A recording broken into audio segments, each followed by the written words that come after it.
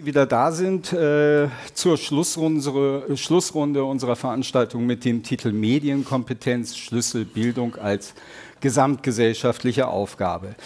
In unserer Runde hier begrüße ich von außen beginnend Magistra Doktorin Maren Beaufort, Kommunikationswissenschaftlerin am Institut für Vergleichende Medien und Kommunikationswissenschaft der Österreichischen Akademie der Wissenschaften und der Universität Klagenfurt. Darf man nicht vergessen, ist immer wichtig zu erwähnen, sonst sind die Kollegen sauer. Die Regierungsrätin Michaela Dallinger aus dem Schulqualitätsmanagement der Wiener Bildungsdirektion, heute kurzfristig in Vertretung für Bildungsdirektor Heinrich Himmer. Ich hoffe, es ist alles gut mit ihm und ja, es war nur ein auch. wichtiger anderer Termin. Die Geschäftsführerin des Verbands äh, Freier Rundfunk Österreich, Dr. Helga Schwarzwald, und den Moderator der ORF Zeit im Bild TikTok, Idan Hanin. Toll, dass Sie alle da sind. Herzlich willkommen. Frau Beaufort, beginnen wir mit Ihnen in unserem Medienkompetenzbericht, äh, den wir vorhin kurz gezeigt haben, vorgestellt haben. Schreiben Sie über die Relevanz von Informationskompetenz in Online-Kommunikationsräumen aus demokratiepolitischer Perspektive, wissenschaftlich genau das äh, ausgedrückt, genau das, worüber wir heute äh, im Kern reden. Ähm, zum Start zwei Dinge, die mir in Ihrem äh, Beitrag so direkt ins Auge gesprungen sind. Sie scheinen das Wort Medienkompetenz geradezu zu vermeiden und Sie sprechen konsequent von Informationskompetenz. Das ist zugespitzt da, aber was bedeutet das für Sie? Naja, wir forschen hauptsächlich im, im äh, englischsprachigen und im, im, im, internationalen Kontext. Und äh, ähm, da arbeiten wir einfach seit, seit äh, geraumer Zeit mit dem Terminus Information Literacy und, oder eben Media and Information Literacy. Und und äh, es ist aber so, dass unabhängig von einer, einer theoretischen äh, Debatte, die, die durchaus auch geführt wird, ähm, wo äh, ähm, äh, genaue Begriffsdefinitionen und, und, und auch trennscharfe, äh, eine Trennschärfe dieser Konzepte herausgearbeitet wird, äh, denke ich, äh, kann man unter Informationskompetenz einfach die Fähigkeit verstehen, mit, mit Information äh, selbstbestimmt, souverän, verantwortlich und äh, äh, zielgerichtet umzugehen. Und jetzt ist dieser kompetente Umgang mit, mit äh, Informationen auf unterschiedliche Aspekte gerichtet, auf, auf Inhalt, auf das Medium, auf, auf die Technik. Und da meint, denk, äh, also da meint, es ist jetzt sehr pragmatisch äh, gesagt, die Informationskompetenz ist dann vor allem auf den, auf den Inhalt gerichtet, unabhängig vom, vom Ausspielkanal. Die Medienkompetenz ist auf das Medium gerichtet und etwas, was man vielleicht mit ICT-Kompetenz äh, umschreiben könnte, wäre dann auf die, auf die Technik gerichtet. Das ist es im Prinzip. Ja.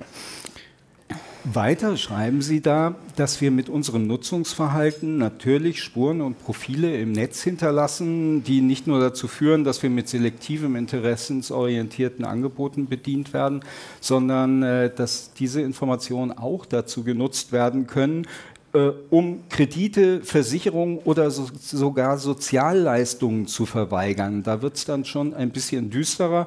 Aber Sie setzen noch eins drauf und schreiben, Provokativ gesagt, könnten politische Systeme, die über solche Datenmengen verfügen, Bürgerinnen sukzessive als entbehrlich erachten. Wie ist das gemeint? Ich, ich habe das als ähm, äh, natürlich als durchaus fiktives äh, Szenario gezeichnet. Ähm, aber es, es, ist mir schon ein Anliegen, äh, auf, auf, den, auf den ganzen äh, Komplex äh, äh, aufmerksam zu machen oder auch bewusst zu machen. Das ist, es wird mir oft sehr, sehr sehr, sehr verkürzt äh, diskutiert. Für viele Menschen ist mit, mit personalisierten Daten und, und KI vor allem personalisierte Werbung äh, äh, im, im, Kopf vorhanden. Und äh, ich es ist mir schon ein Anliegen, dass, dass das Bewusstsein äh, geschaffen wird, dass auch, auch Staaten, auch politische Systeme äh, durchaus Entscheidungen treffen und auch, auch, auch äh, in weit größerem Ausmaß äh, in der Lage zu treffen sind, die, die eben Big Data, auf Big Data-Analysen basieren, die auch zum Teil auf personalisierten Daten äh, basieren. Und natürlich sind wir vom obsoleten Bürger weit entfernt, äh, wenn er überhaupt äh, äh, für uns gedacht werden muss. Oder wir sind auch von, von einem Sozialpunktesystem, wie es in China gehandhabt wird, weit entfernt. Und ich denke auch nicht, dass man ein, eine, ein, in eine Art Dystopiewahn verfallen muss. Die, diese Innovationen sind in vielerlei Hinsicht sehr, sehr, sehr, sehr zuträglich. Aber es scheint mir doch sehr wichtig, ähm, überall da, wo, wo Legitimierung äh, von Entscheidungen und wo Zuschreibung von Verantwortlichkeit von Entscheidungen äh, ins Spiel kommt, dass das nach demokratischen Spielregeln funktioniert und funktionieren kann. Und äh, ähm, dafür ist sicherlich äh, Regulierung äh, bestimmter Rahmenbedingungen notwendig und auch sehr kluge Regulierung, die das ordentlich adressiert. Und äh, wenn ich nur ganz kurz Bezug auf, auf den Vormittag noch, noch nehmen darf, ähm, es gehören auch Inhalte, äh, Regulier es gehört auch Inhalteregulierung nach demokratischen Spielregeln legitimiert und sollte eigentlich nicht von großen internationalen privatwirtschaftlichen Playern entschieden werden. So. Also Sie sprechen Gesetzesinitiativen an, wie den AI-Act zum Beispiel und die nationalen Umsetzungen, die dann folgen werden. Zum Beispiel, aber vor allem eben fehl, äh, fehlende demokratische Legitimierung von sehr vielen äh, derzeit schon praktizierten äh, Entscheidungsprozessen. Ähm, wir müssen gleich über Ihre Informationsrepertoire-Studie, ich muss das immer alles ablesen, wie Ihre äh, Informationsrepertoire-Studie des österreichischen Medienpublikums, so, über die müssen wir unbedingt sprechen. Eine Studie, die zeigt, dass sich die österreichische Bevölkerung in sehr unterschiedliche Mediennutzungsgruppen mit sehr unterschiedlichen äh, Vielfaltsansprüchen unterteilt und welche Schlüsse arrivierte Medien daraus ziehen können. Aber vorher gehen wir nochmal in die Runde. Frau Dallinger aus dem Schulqualitätsmanagement der Wiener Bildungsdirektion. Äh, seit dem vergangenen Jahr dürfen Sie sich über die Einführung des äh, neuen Pflichtfaches digitale Grundbildung an den Mittelschulen und äh, Gymnasien freuen. Eine Stunde pro Woche wird das in den Schulstunden fünf, äh, Schulstufen 5 bis 8 unterrichtet.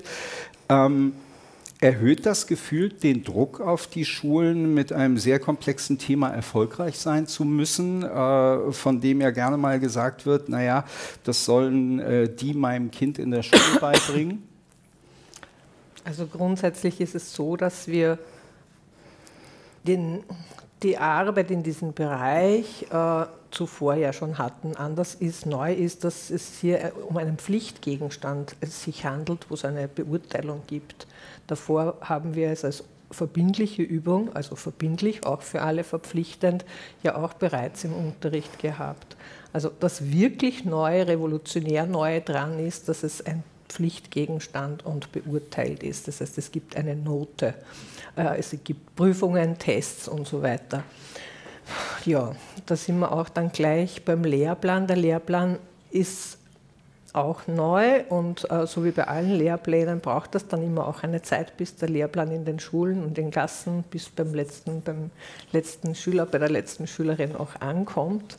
Das ist, äh, da braucht es Fortbildung dazu, da braucht es äh, Informationen auch dazu für die äh, Lehrpersonen, braucht es Ausbildungen. Also wir haben, glaube ich, meines Wissens äh, da noch einen ziemlichen Aufholbedarf. Äh, jemand, der das, den Unterrichtsgegenstand äh, digitale Grundbildung geprüft, geprüfterweise unterrichten darf. Das haben wir gar nicht so viele. Ähm, mit dem Lehramt Informatik kann man das auf jeden Fall machen.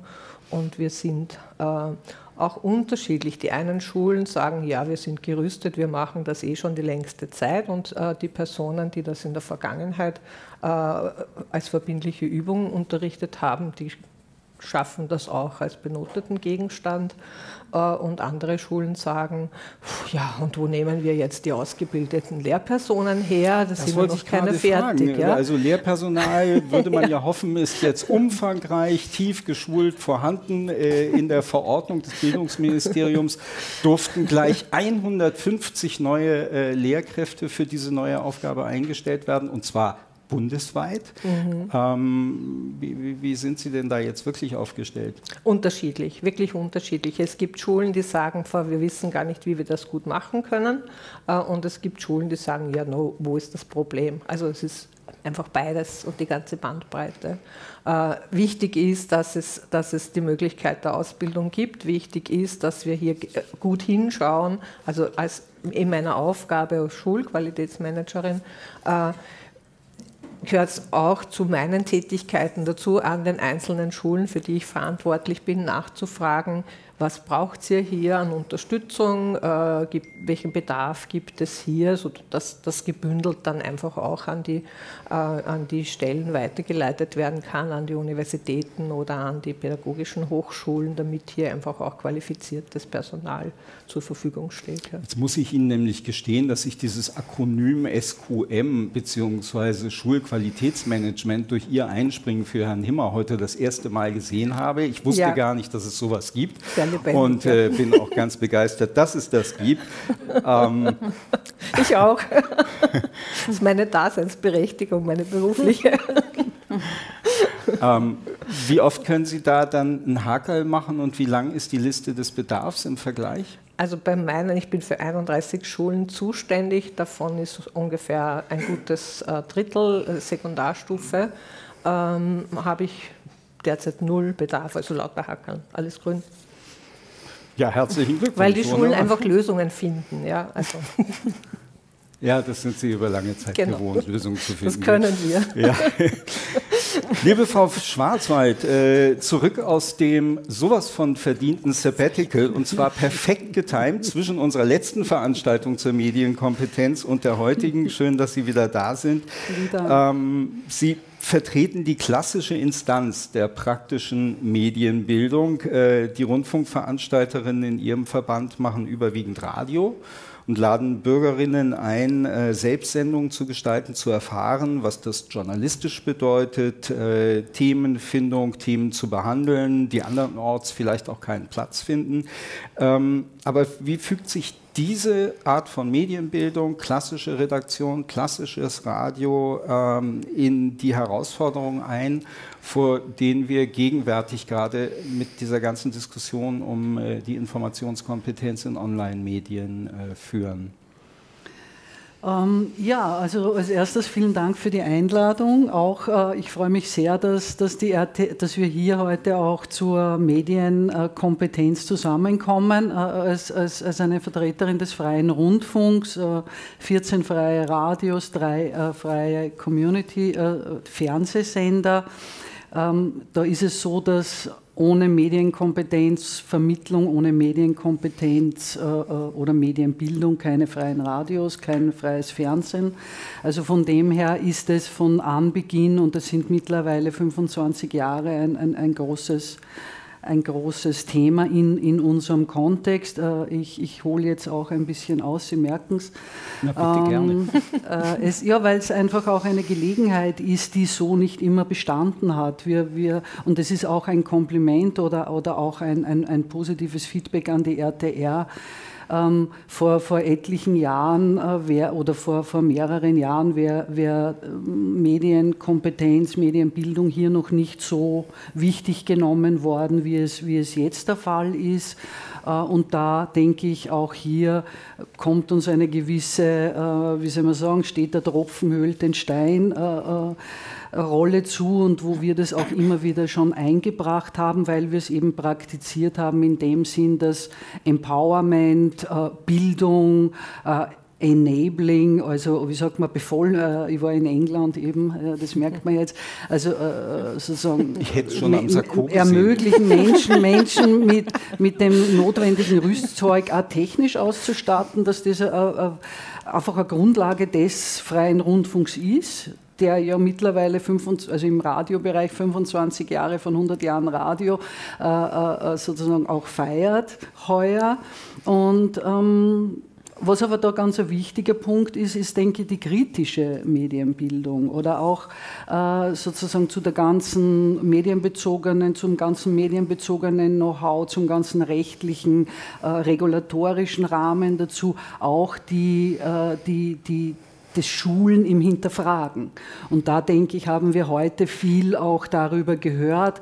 Äh, wir, äh, da geht es um Privacy-Einstellungen, da geht es auch um Möglichkeiten, die ich sehr wohl im Online-Bereich habe, wo ich denke, auch hier äh, möchte ich die, die Veranstalter, die ich vertrete, wie soll man sagen, loben und hervorheben als welche, die bereits Ende der 90er Jahre in, in den digitalen Raum hinübergegangen sind oder Konvergenz auch im, im Sinne des Aufbaus eines Archivs ähm, auch eines offen zugänglichen Archivs in Angriff genommen haben und, und hier sicher auch Vorreiter waren. Und eben in diesem Leute mit dem auszustatten, dass man einfach äh, sie denkt, was kann ich selber machen? Was für Möglichkeiten habe ich? Welche Freiheiten habe ich auch?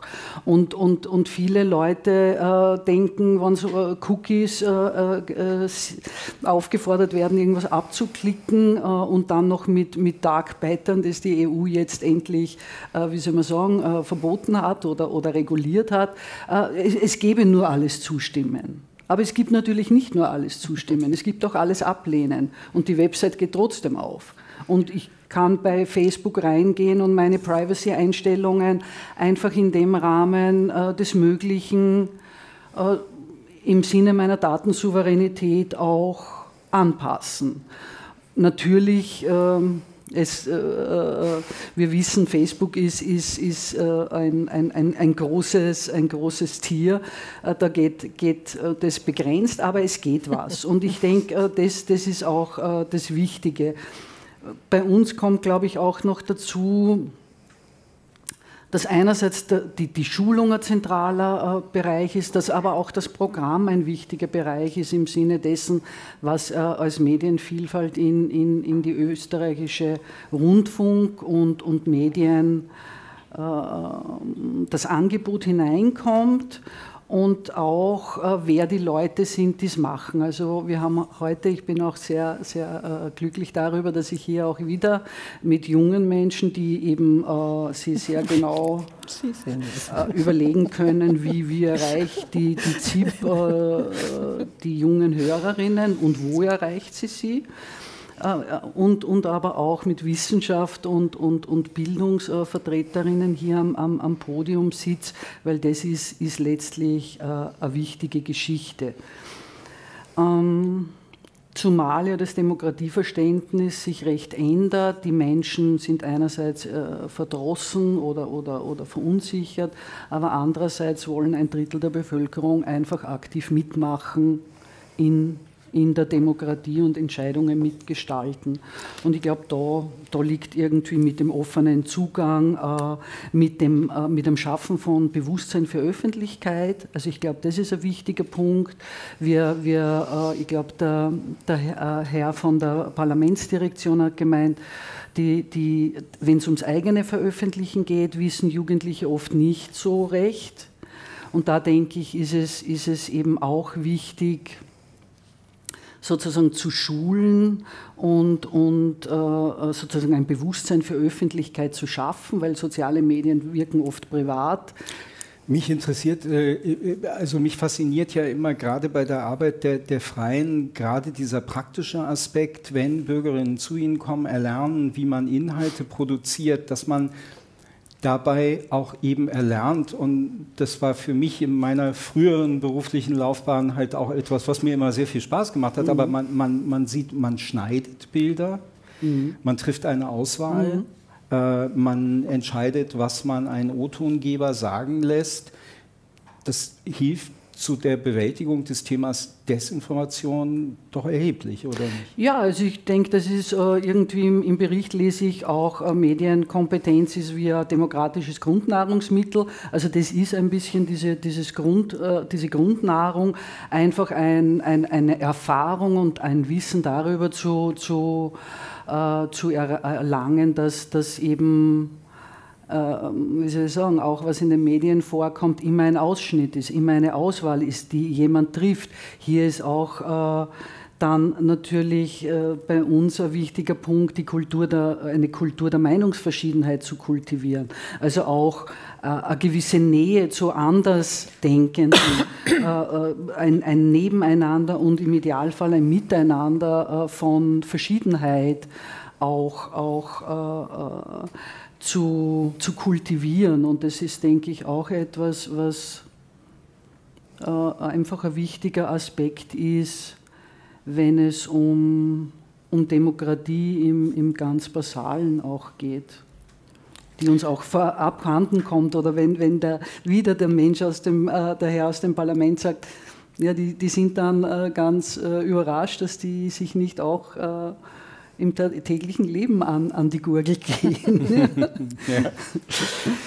Idan Hanin, schön, dass du da bist, freut mich sehr. Ähm, und ich möchte gleich etwas vorausschicken. Ähm, äh, wir waren vom ersten Kontakt an per Du und das ja. ging von dir aus. Also nicht, dass jemand denkt, typisch der alte Mann denkt, nur weil da ein Junger sitzt, kann er gleich Du sagen.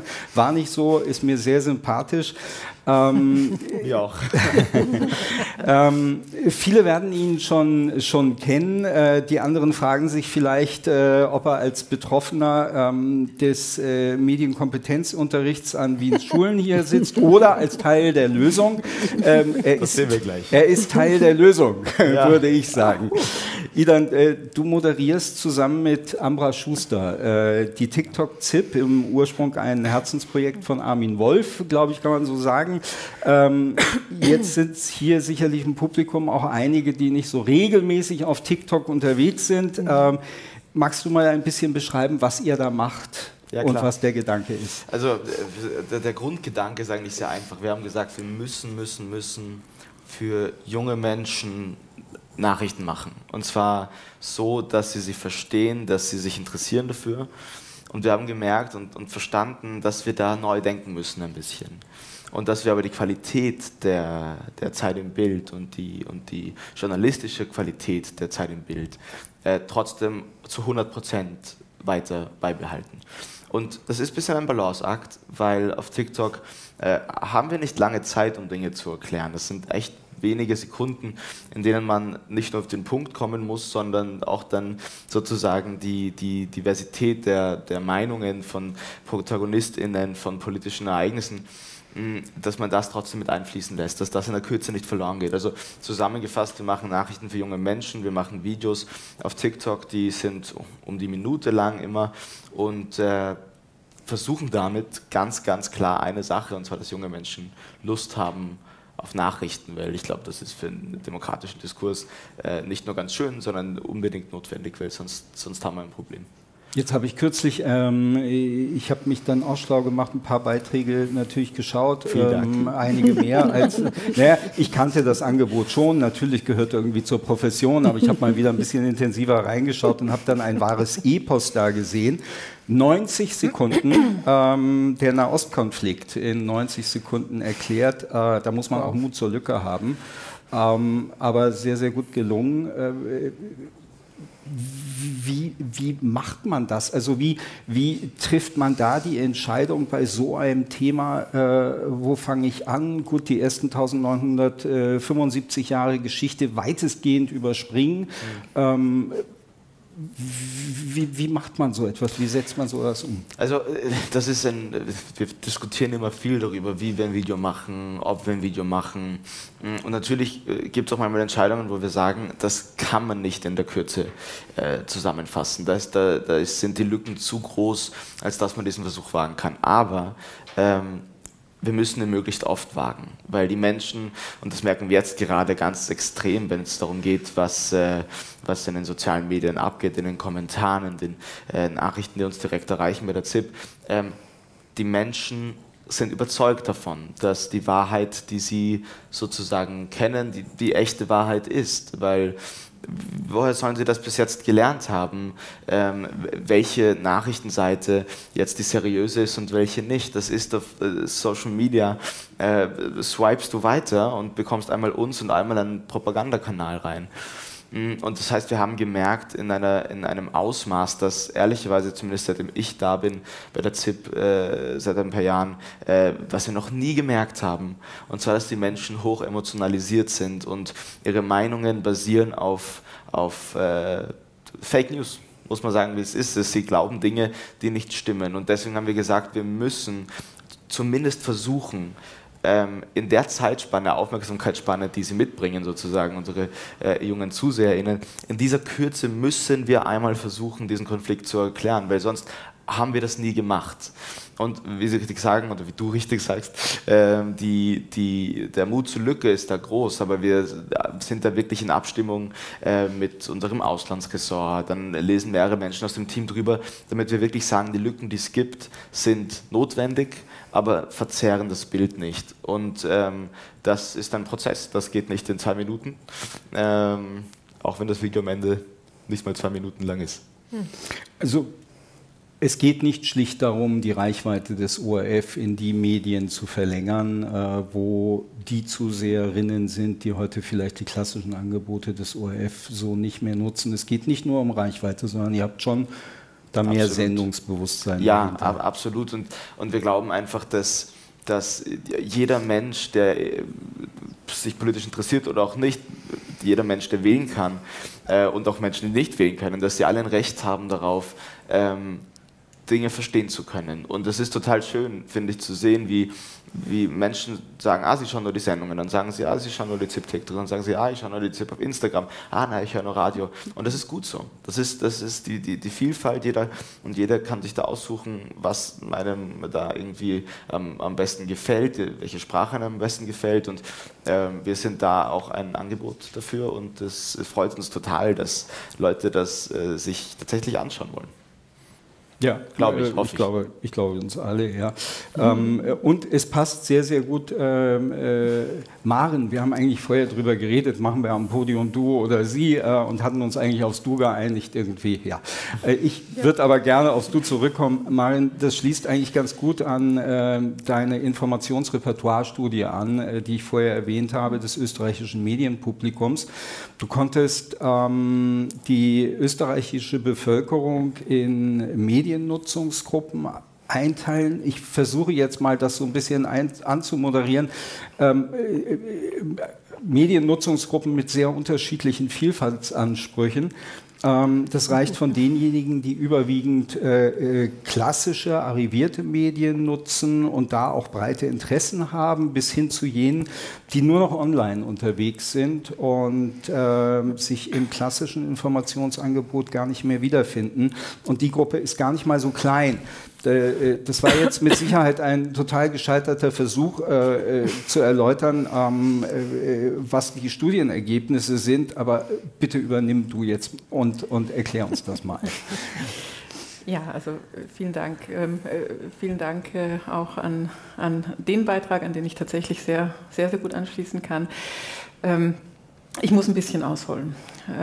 wir, wir haben in, in unserer Arbeit eigentlich immer einen, einen sehr stark demokratietheoretischen, sehr stark äh, demokratiepolitischen Blick auf diese Dinge und äh, haben uns mit mehreren Studien, Studien, also mit der angesprochenen, aber auch äh, mit anderen, äh, mit, der, mit der Frage beschäftigt, wer durch welche Informationsmedien äh, erreicht werden kann, wer nicht und, und warum. Und äh, wir haben dabei Zusammenhänge festgestellt, äh, die, also von der, die in der Veränderung des Demokratieverständnisses äh, in der Bevölkerung liegen. Äh, Zusammenhänge zwischen dieser Veränderung des Demokratieverständnisses und veränderten Nutzungsverhalten und veränderten Beteiligungsverhalten. Ähm, und ich will nur ganz, ganz kurz versuchen zu umreißen, worum es da eigentlich geht oder, oder was da rausgekommen ist. Und ich werde es nicht in 90 Sekunden schaffen, äh, obwohl das viel das weniger okay. kompliziert ist als da. Das kann man aber trainieren, oder? na, na. Ich kürze aber, das dann. ja, also bezogen auf dieses Demokratieverständnis. Ähm, ist es, und das hat, hat, die Helga vorher auch schon, schon äh, gesagt, so, dass, dass äh, ähm, im Kern für immer mehr Menschen, und das ist inzwischen etwas mehr als ein Drittel der Österreicher und Österreicherinnen, Demokratie äh, vor allem wieder mehr Eigenverantwortung für die Mitgestaltung der eigenen Lebenswelt bedeutet. Und es sind dann sehr stark auch jene Menschen, die sich äh, von den, den ähm, klassischen Massenmedien und von der, von der, von der äh, traditionellen Institutionenpolitik distanzieren äh, deshalb aber nicht äh, äh, gesellschaftlich politisch äh, desinteressiert wären und auch nicht, äh, also äh, durchaus auch zur Beteiligung bereit sind, also zur, zu, dann eher zur, zur zivilgesellschaftlichen ähm, Beteiligung. Ähm, die müssten nur da abgeholt werden, wo sie eben sind. Das heißt, eine, die, die, Gründung einer, einer äh, ZIP TikTok, muss ich schauen, dass ich das nicht äh, falsch ausspreche, ähm, äh, ist, ist da äh, zum Beispiel ein, ein, ein, ein sehr, sehr gelungener äh, Schritt. Die müssen da abgeholt werden, wo sie sind. Aber dann auch, und das geht darüber hinaus, mit ihren eigenen Anliegen und mit dem, was für ihre eigene Lebenswelt wichtig ist. Und sie wollen auch diese eigenen Anliegen artikulieren können und, und sie auch vernetzen mit, mit Gleichgesinnten. Ähm, es geht also nicht mehr nur um, um den um den informierten Bürger, die informierte Bürgerin, die fit gemacht werden müssen für eine Wahl, wo sie dann äh, politischen Entscheidungsträgern äh, Entscheidungsgewalt delegieren und äh, Entscheidungsmacht delegieren. Und es geht sehr wohl auch um eine Gruppe von Menschen, die, die äh, als empowerte Bürger und Bürgerinnen, als, als vernetzte Bürger und Bürgerinnen an Entscheidungsprozessen teilhaben wollen. Sowas geht zum Beispiel, wenn man sich das praktisch vorstellen will, sehr gut da, wo es das eigene Lebensumfeld betrifft, also auch im, im lokalen Raum. Ähm, dass es diese Bereitschaft gibt, konnten wir empirisch zeigen für alle europäischen äh, Länder.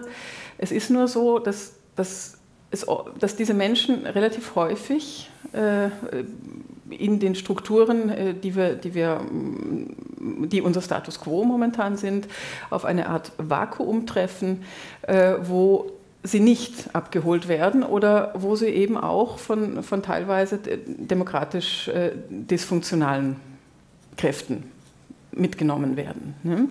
Also du redest ähm, vom, vom Medienangebot. Das ist das Umfeld, von dem so, du da sprichst. Also grundsätzlich, also vom, vom Environment, also vom, vom, okay. vom, vom, Umfeld, vom, vom Medienumfeld, aber auch, durchaus auch vom, vom politischen Umfeld. Mhm.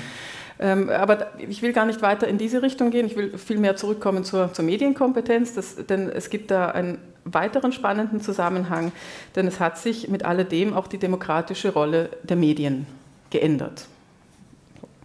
Und, äh, und auch damit die Anforderungen an Medien- und, und Informationskompetenz. Denn äh, dieses Drittel der Gesellschaft, wie es im, Moment etwa ist, äh, ist von traditionellen Massenmedien nur deshalb nur noch so schwer zu erreichen, weil es nicht mehr ausreicht, äh, mit einem Monitoring bedient zu werden des gesellschaftlichen äh, Geschehens aus einer Makroperspektive oder auch mit einer Vermittlertätigkeit zwischen Mächtigen und, und Bürgern und Bürgerinnen, sondern von Medien wird erwartet, dass sie partizipativen Zugang ermöglichen, dass sie das Publikum mit einbeziehen, dass sie Orientierung geben, und zwar auf einer Mikroperspektive, die eigenverantwortliches Weiterhandeln äh, ermöglicht, Selbstwirksamkeit äh, zu erfahren ermöglicht und, äh, und auch Identifikation. Also das heißt, äh, es braucht gelebte Diversität. Ja, in, ist es zulässig anzunehmen, dass, das, äh, dass diese Gruppe überwiegend jung ist? Äh, es ist? Die Gruppe ist jung, ja, aber nicht nur. Leitet sich daraus eine Erkenntnis ab für den Medienmarkt, so wie wir ihn zurzeit haben? Also äh, äh, leitet sich daraus die Empfehlung ab, an Medien ihr Portfolio an Angeboten zu überdenken? Äh, ja, das, das, tut es schon. Also es wird, wenn man das zu Ende denkt, tatsächlich klar, dass einerseits äh, Online-Kommunikationsräume für diese Menschen wesentlich spannender sind als, als äh, traditionelle Massenmedien, wie sie heute ausgestaltet sind. Es äh, ähm, leitet sich auch daraus ab, dass es sehr wichtig ist, dass Information nicht nur so rüberkommt äh, von, von dem ähm, alten weißen Mann im Anzug mit Krawatte in einer Art Wen Einweg. du jetzt? Ähm, äh, eine Kommunikation nicht nur. Du hast gar keine Krawatte. Nee, stimmt. Äh, es wird, denke ich, auch klar, dass es, dass es nicht rein mit einer, einer verkürzten Aufmerksamkeitsspanne zu tun hat. Also es ist, es ist äh, nicht damit getan, dass man das Althergebrachte äh, verkürzt und, und einfach eins zu eins äh, online stellt, ne? sondern es, es muss tatsächlich sich gut überlegt werden, wie das anders gebracht werden kann. Hm? Und das ist dann eben vor allem jung, divers und anschlussfähig an die, an die eigene Aber Lebenswelt. wenn wir mal ganz ehrlich sind, Ihre Aufmerksamkeitsspanne spielt schon auch eine Rolle bei euren Videos. Äh, auf jeden Fall. Äh, und das ist eben ein bisschen dieser, dieser wie soll ich sagen, dieser Spagat ein bisschen, den ich vorhin schon erwähnt habe kurz, ähm, dass man in dieser Kürze äh, trotzdem halt äh, das, das meiste rausholen äh, muss und kann. Also ähm, die, die ersten Sekunden, wenn man die nicht genau auf den Punkt trifft, dann swipen die Leute schnell weiter. Klar, Aufmerksamkeitsspanne ist kurz. Ähm, das ist, finde ich, nicht die Schuld der jungen Menschen, sondern das ist äh, dem geschuldet, wie sich das Medien, äh, wie, sich, wie sich der Medienkonsum einfach in den letzten Jahren ganz drastisch verändert hat. Ähm, Weil es einfach einen Lerneffekt auch Genau. hat, zu Und- swipen. Und Genau, absolut. Und ich glaube, genau das ist aber auch wichtig, weil ähm, das ist, das ist teilweise ärgerlich. Teilweise denkt man sich, man kann die Welt nicht immer in ein paar Sekunden erklären und, und, und es wäre immer besser irgendwie, wenn man zehn Minuten hätte. Aber das ist nicht mehr die Realität. Wenn wir zehn Minuten machen, dann schaut es auf TikTok, ich schätze, zwei Leute. Und das ist zu wenig, um sozusagen äh, zu sagen, dass man das jetzt gerade richtig gemacht hat. Das heißt, ich glaube, diesen, diese Challenge, die muss man annehmen, weil sonst ähm, äh, verpassen wir da was ganz Großes, äh, was nämlich ist, die jungen Menschen mitzunehmen. Ihr Naja, macht ja aber noch es was gibt an- einen, Entschuldige, aber äh, es gibt Ja, einen sehr bitte. eklatanten Unterschied zwischen der Tagesschau in 100 Sekunden äh, und, der, und der ZIP TikTok in, in 90 Sekunden. Nicht? Und das, Ja. das ist genau der, den ich beschrieben habe. ja. Die Tagesschau in 100 Sekunden ist äh, ein reines äh, Verkürzen äh, der Zeit. Und äh, was ihr macht, ist, ist ein neues Produkt. ne? Ich meine, jetzt muss man So. äh, zur Ehrenrettung der Tagesschau in 100 Sekunden sagen, äh, die gibt es seit über 20 Jahren und hat sich seitdem nicht verändert, was vielleicht keine Ehrenrettung ist, aber äh, ja, sie wird von Menschen mit Krawatte in einem klassischen äh, Studiodesign irgendwie präsentiert, aber es war, glaube ich, damals auch schon der Versuch, auf diese ver sich verändernden Mediennutzungsgewohnheiten äh, junger Menschen einzugehen. Was ich bei dir nochmal eben kurz nachfragen wollte, ist, ähm, äh, ihr macht ja noch was ganz Entscheidendes. Ihr, ihr bietet ja, oder ich habe es falsch verstanden, aber ihr bietet, ihr bietet ja, äh, ist durchaus möglich, ein, ein, ein Video pro Tag an. Das heißt, ihr kuratiert, also das, was die Nachrichten, die Hauptnachrichten im Fernsehen, sage ich mal, ja, tun, kuratieren, was sind die Themen des Tages, aber dann runterbrechen auf äh, 10, 12, äh, 14 Themen. Das brecht ihr runter auf eins. Ist das nicht noch eine zusätzliche äh, Geschichte, wo man sagen muss, boah, das ist jetzt aber dann schon sehr verengt, äh, die Information des Also, Tages? äh, Das äh, mit dem einen Video, das ist, äh, wenn wir sozusagen allein im Dienst sind, ähm, weil dann gibt es teilweise noch andere Dinge, die man machen muss. Oft geht sich dann äh, eben nur ein Video aus für eine Person. Äh, wenn wir zu zweit sind, äh, die Amra und ich, dann äh, machen wir in der Regel zwei bis drei Videos. Und das Ding ist, warum, das, das, das, das ist sozusagen der Kreis davon. Äh, manchmal fragen uns Leute, was macht ihr acht Stunden, wenn ihr eine Minute äh, im Endeffekt produziert? Was, was sitzt Ja, ihr da vier Stunden rum? ich erkläre es dir. Ähm, äh, das ist ein Prozess und genau das ist dieser springende Punkt. Wenn wir sagen, ah ja, okay, machen wir, fetz mal das hin in 90 Sekunden und dann schreibe ich ihm das runter und dann nehme ich aus dem Beitrag diesen Satz und aus dem anderen Beitrag diesen Satz, dann wird das schon sehr schnell gehen. Dann wird es aber noch immer keiner schauen. Und dieser Prozess, ähm, sich wirklich zu überlegen, was ist der Zugang, der der beste, mit Abstand beste ist, den man da jetzt finden kann, der nicht verkürzt ist, aber der Lust macht, sozusagen das Video weiterzuschauen. Ähm, das braucht Zeit und zusätzlich, und das ist ein Unterschied zu, zu uns als äh, RedakteurInnen bei äh, der Social Media, äh, Social Media Team der ZIP im Vergleich zum Fernsehteam der ZIP ist, dass wir nicht nur selber schreiben, sondern auch selber produzieren, selber schneiden, selber ähm, äh, nachbearbeiten und, und, und äh, ja, eigentlich die komplette Gestaltung jedes Videos liegt bei uns und das ist schon etwas, was im Fernsehen zum Beispiel äh, aufgeteilt ist, einfach weil, weil einfach in der Masse der Themen sozusagen und bei 14 Themen in einer Sendung äh, kann nicht ein Redakteur oder eine Redakteurin alles machen, denke ich. Und da, da gibt es dann CutterInnen und dann gibt es äh, Menschen, die mit einem Drehen fahren und diese technische äh, Komponente irgendwie mitdenken. Das heißt, das ist bei uns der Grund, warum wir für ein Video, ähm, wenn es ein größeres ist, einen Tag brauchen. Wenn es jetzt ein kleineres ist, wo man jetzt wirklich, äh, ja, was, was irgendwie ein zeichteres Thema ist, dann geht das schon noch schnell mal in, in drei oder vier. Also so ist es nicht. Ich habe die Frage vor allen Dingen deshalb gestellt, weil ich weiß, dass es eine, äh, aus eigener Erfahrung, dass es eine große Verantwortung ist, die Themen des Tages auszusuchen fürs Publikum und zu kuratieren. Aber dann eben, äh, ich mir denke, dass die Verantwortung nochmal erheblich steigt, wenn man sich an ein junges Publikum äh, wendet und dann sagt, okay, das sind die zwei oder das eine Top-Thema des ja. Tages. Was ist heute Top-Thema? Ähm, heute das Top-Thema, wir haben heute tatsächlich etwas, äh, was jetzt nicht äh, komplett tagesaktuell ist, aber schon irgendwie, und zwar kommt heute noch ein Video über das äh, Tunnelsystem der Hamas. Ähm, da haben wir mal versucht, irgendwie zu erklären, äh, was sie da aufgebaut haben. Und äh, das ist zum Beispiel heute jetzt äh, mein Thema. Die andere macht das Eher dunklerer Beitrag dann. Äh, ja, viele das Tunnel. ja. Frau Schwarzwald, aus Ihrer Perspektive, ähm, freier Rundfunk, ähm, ich nehme mal an, dass Sie so, ein, so, ein, so eine Geschichte wie die ZIP TikTok absolut begrüßenswert halten. Äh, gibt es, nehme ich an, bitte widersprechen Sie mir. Ähm, bitte nicht.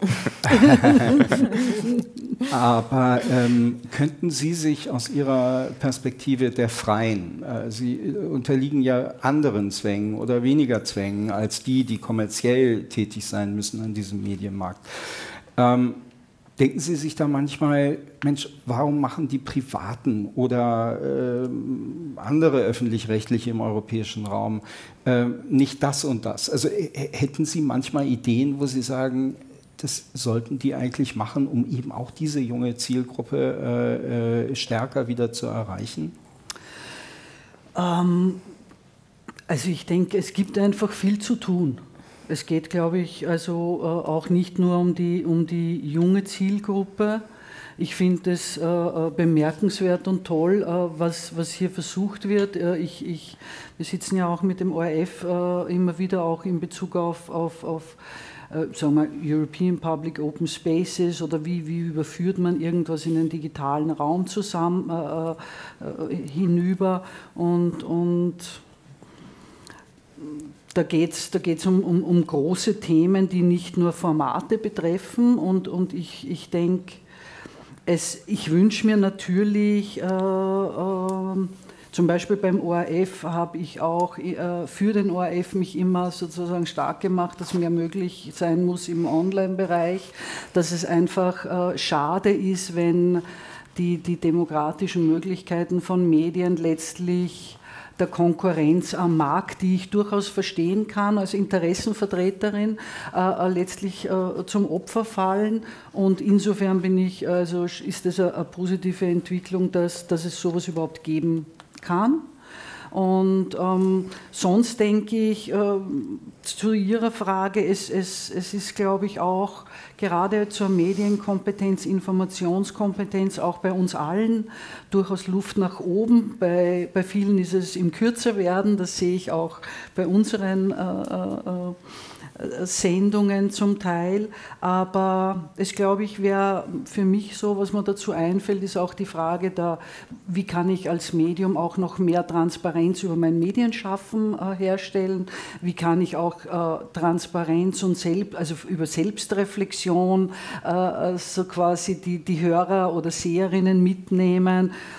Da sehe ich in Deutschland äh, auch, auch mehr sage ich jetzt mal, Deutschlandfunk, selbst äh, äh Medias Res, äh, tägliches Programm, wo auch auf, auf sich selbst geschaut wird, jetzt im Vergleich zu Doublecheck einmal im Monat, äh, Breitband auch, äh, äh, was man noch einfällt, nach Redaktionsschluss, das sind jetzt mhm. alles Formate aus, aus, aus, dem, aus dem Radiobereich. Aber da geht es zum Beispiel, also bei dem, gerade bei dem nach dem Redaktion, nach Redaktionsschluss geht es ja auch darum, dass, dass äh, Seherinnen, Hörerinnen quasi äh, ihre, ihre Kritik, ihre, ihre Zweifel, ihre äh, Bedenken in Bezug auf Medien an die Medienmacher wieder zurückbringen. Äh, äh und hier vor allem in eine Redaktion, die selber Medien zum Thema hat.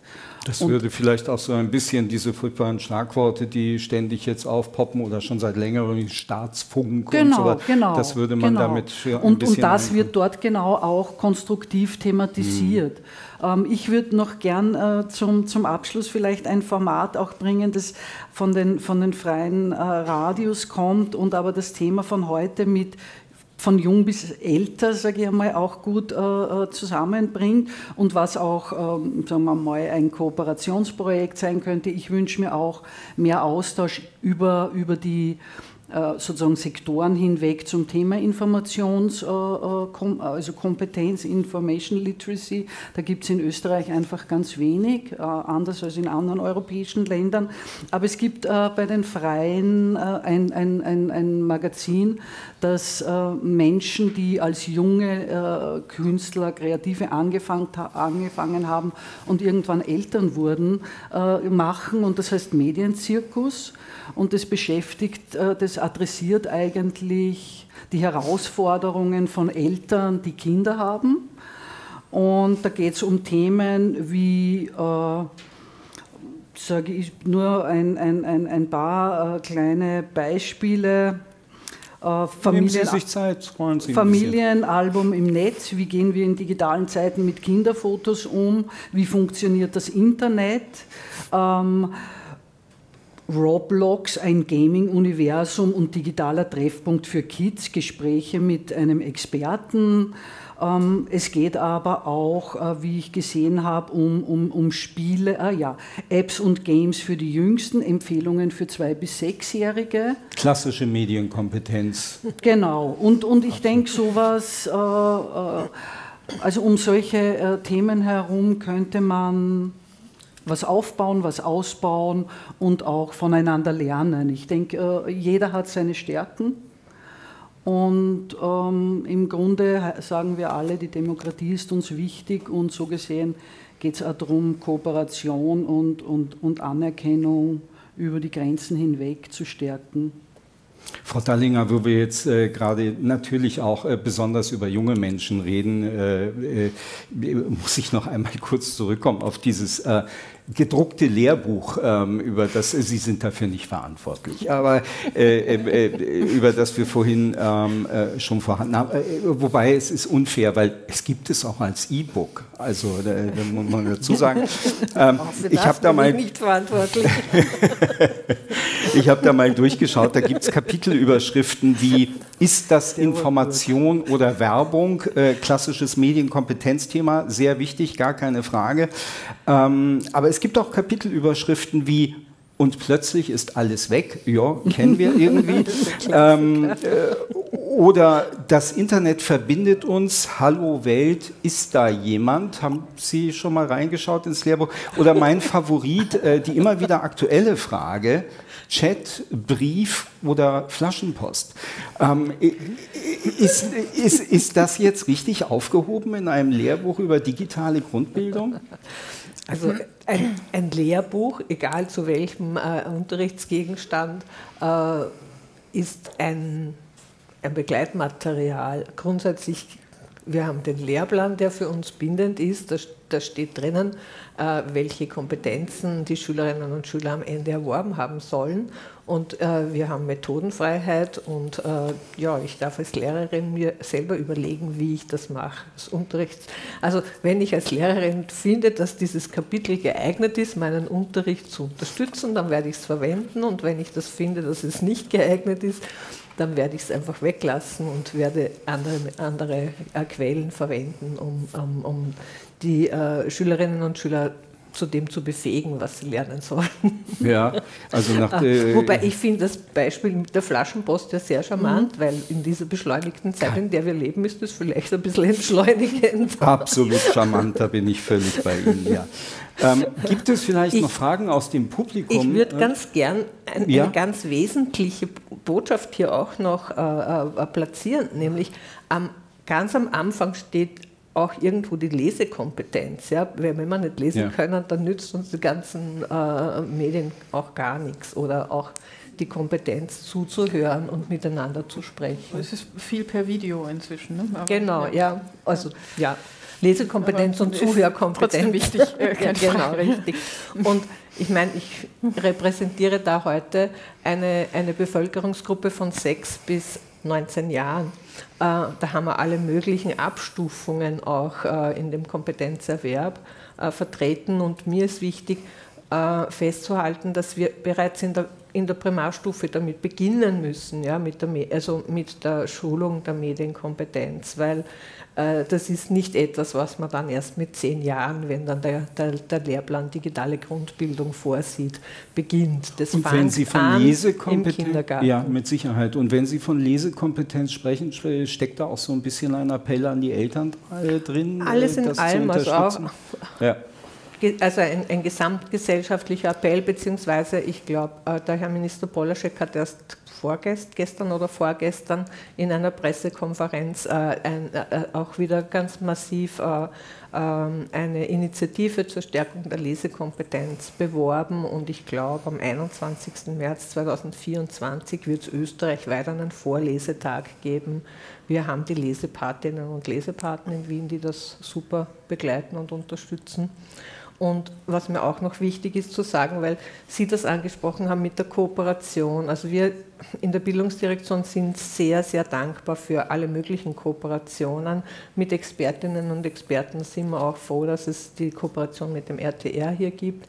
Wir haben auch die Kooperation mit der Rechtsanwaltskammer, wo es einfach auch darum geht, dass ungefähr strafmündige junge Menschen äh, die Auswirkungen äh, erfahren von Rechtsanwälten, die, äh, das ist eh beschrieben hier in dem, ja, genau. äh, von Rechtsanwälten äh, und Rechtsanwältinnen, die das äh, ehrenamtlich machen. Was hat das für eine Konsequenz, wenn ich jetzt das Foto von Ihnen jetzt wem anderen schicke ja, äh, und solche. Also das ist ganz wichtig, dass wir hier dieses ja, das Know-how auch einbe also einbeziehen können in unsere tägliche Arbeit.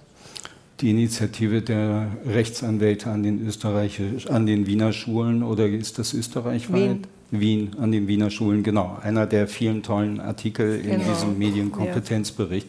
Ja. Ähm, Frau Dallinger hat Ihnen jetzt ausreichend Möglichkeit gegeben, darüber nachzudenken, ob Sie noch eine Frage ans Podium haben. Ich habe es ja schon angeteased, es kommt zurück. Bitte schön.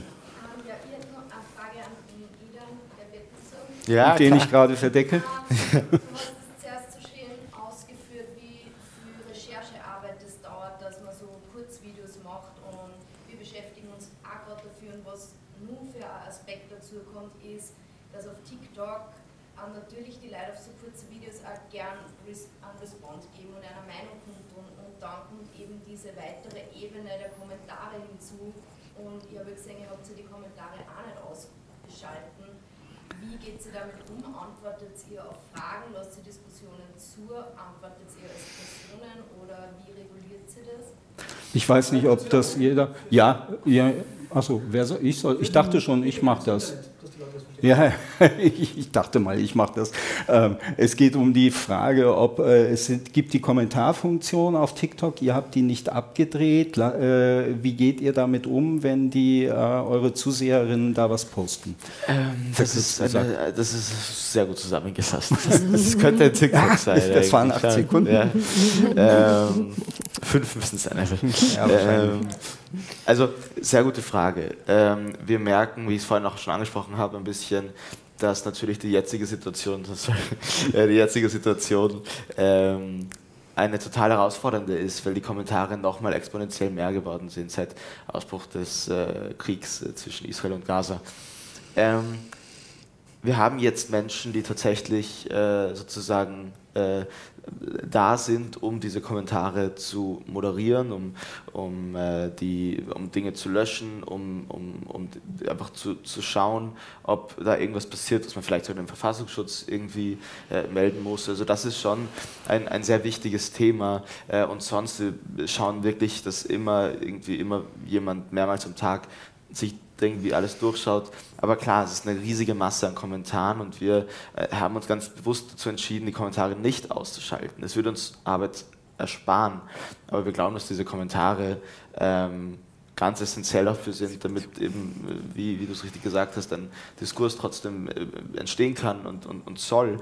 Aber es geht nicht alles und es gibt Dinge, die sind strafrechtlich oder irgendwie äh, zumindest äh, ja, relevant, dass man sie anzeigt oder oder ähm, äh, ähnliches. Und äh, da geben wir wirklich unser Bestes, aber natürlich im Idealfall ähm, braucht man da echt viele Menschen, die das machen. Und betrifft eines der Erkenntnisse, die Marin Beaufort in ihrer Studie herausgefunden hat, nämlich dass es dieses, ich nenne es jetzt auch mal partizipative mhm. Element, irgendwie genau. braucht für speziell diese genau. Gruppe, die, mhm. die da angesprochen wird. Vielen Dank für die Frage. Ähm es gibt da verschiedene Möglichkeiten, ne? aber, aber das ist mal eine. Ne? Ich sehe da ganz, haben wir eigentlich ein Handmikrofon vielleicht noch für die? Ich glaube, ich spreche laut genug. Ich wollte eigentlich nur Sabine Schuh, Rechtsanwaltskammer Wien. Ich freue mich auch sehr, wirklich auf unsere Kooperation, dass wir da auch hier. Was ich wirklich gut finde, wir haben es geschafft, äh, zwar, wir sind halt im Föderalismus unterwegs, ja, äh, wir haben in Wien wirklich ein super Projekt gestartet, dass wir jetzt auf Kammeramtsdirektorenebene, auch in den Bundesländern, es haben jetzt einige in Niederösterreich, äh, in Kärnten, unsere Präsentation, die wir erarbeitet haben, die wir gemacht haben, übernommen. Die Projekte starten in den Bundesländern. Ich würde mir das für viele Initiativen, die wir auch heute gehört haben, extrem wünschen, dass wir da ein bisschen vom Föderalismus, jetzt bin ich Christ, aber Weihnachten kommt ja jetzt bald, ja, äh, dass wir ein bisschen wegkommen vom Föderalismus und hin einfach dazu, so gute Vorzeigeprojekte ähm, ja, bundesweit auszurollen, uns zu trauen, über die Grenzen hinweg zu denken. Das wäre ein Wunsch. Und was ganz zu Beginn genannt wurde, es gehören auch die Eltern ins Boot. Das haben wir mit der Bildungsdirektion auch schon ein bisschen besprochen. Da sind uns halt ein bisschen, also da kann die Bildungsdirektion nicht sagen, na, die Eltern müssen jetzt teilnehmen an dem, an dem Vortrag. Ich glaube, da wird es auch wichtig sein, dass wir auch als Rechtsanwaltskammer vielleicht auch schauen, Eltern vielleicht über andere Berufsverbände ins Boot zu holen. Warum liegt mir das am Herzen? Ich bin von meinem Grundquellberuf her Psychologin im ersten Bildungsweg und ich finde das heute eine super Veranstaltung. Danke. Ja, vielen Dank Ihnen. Ähm, hilft das Bildungsministerium da nicht vielleicht bei dem bundesweiter Denken? Äh, okay, Achselzucken, vielleicht mal versuchen. ja. wir haben es jetzt sozusagen auf Recht, wir haben es auf Rechtsanwaltskammer-Ebene geschafft, eben über unseren Austausch über die Länderkammern das Projekt zu promoten. Es ist bei uns jedes Jahr im Leistungsbericht, also eigentlich das Vorzeigeprojekt und wir haben einen Run drauf und die Rechtsanwältinnen, die Rechtsanwälte machen das wirklich ehrenamtlich und wir haben auch immer wieder Medienanfragen, was so toll zu sehen ist, dass auch die Schuldirektoren sagen, sie freuen sich immer auf die Vorträge, weil dann haben sie sechs Wochen keine Abmahnungen in der Schule, weil es ist was anderes, wenn das der Lehrer sagt oder wenn das der Rechtsanwalt sagt. Und ich war bei sehr vielen dieser Vorträge dabei und es ist einfach wirklich toll zu sehen, die Kinder sind sich dessen nicht bewusst. Warum nicht? Weil sich die Eltern auch nicht dessen bewusst sind. Die geben den Kindern das in die Hand. Ganz zu Beginn war das mit, den, mit den zwölf Jahren. Was, was äh, wenn man sich die AGBs durchlässt, ab 16 TikTok etc., ja, WhatsApp. Da braucht es mehr, da braucht es uns alle, da braucht es uns als Eltern, da braucht es uns als verantwortliche Erwachsene. Also das ist, ja, wie gesagt, das ist eben wirklich toll. Und ich finde es das toll, dass wir die Kooperation geschafft haben vor zwei Jahren und dass wir es auch weiterführen nächstes Jahr.